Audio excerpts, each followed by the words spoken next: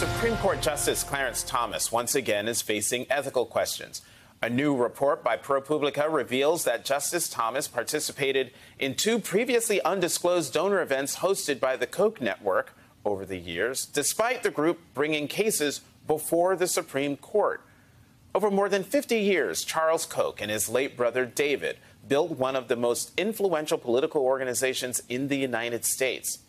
NBC News has not independently verified the ProPublica story, and Thomas has not publicly commented. But these new allegations of Justice Thomas's participation at the Koch network events come as the Supreme Court will reconsider the landmark 1984 Chevron versus NRDC case, which sets a 40-year-old precedent on the powers of federal agency agencies. And according to ProPublica, the Koch network has long pushed to see Chevron overturned.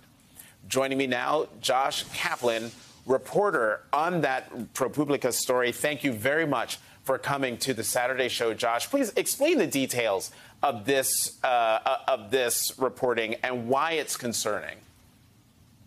Yeah, so we found that um, Clarence Thomas has secretly participated in small, you know, in uh, high dollar donor events for the Koch network, which, as you said, is one of the most powerful and influential political groups in the last half century. Um, so every year, the Koch network has its big annual fundraising event out in Palm Springs uh, for donors that give at least $100,000 a year.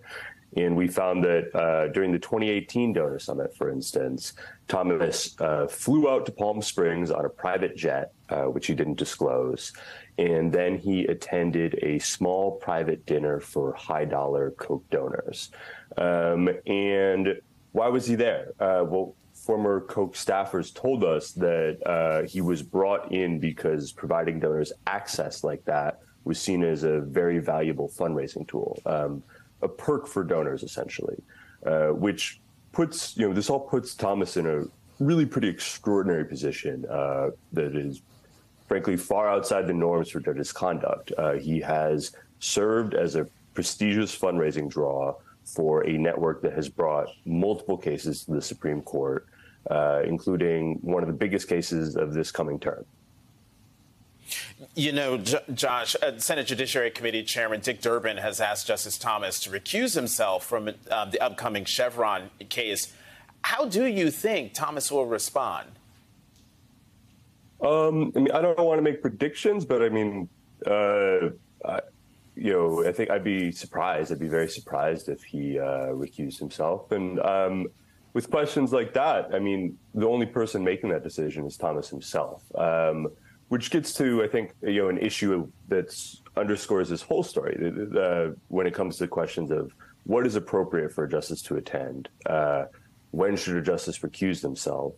At the Supreme Court, unlike the lower courts and unlike uh, essentially the rest of the federal government, uh, it's just the justices making that call. If Thomas says it's fine, then it is.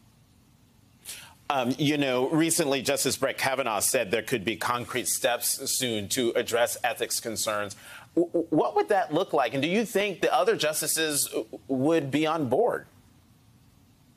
Well, yeah. I mean, so Kavanaugh has said that. Uh, I believe Kagan said that uh, yesterday afternoon. Uh, John Roberts has said similar. Um, and so there certainly uh, is some effort within the court to uh, you know, there, there, there is an expressed interest in implementing these rules. However, um, you know, justices have been publicly saying that the court is going to, you know, implement a code of conduct soon for at least four or five years now, um, and it hasn't happened yet. Uh, so I think you know it's a big open question of uh, are there what are the obstacles to doing that, and um, you know will this come to fruition soon? Um, and also, of course, uh, what it will actually look like, because a code of conduct that is uh, vague and has no enforcement mechanism uh, might not be that different from the current status quo. Right, right. Josh Kaplan of ProPublica, thank you very much for coming to the Saturday show. Thanks so much for having me. Up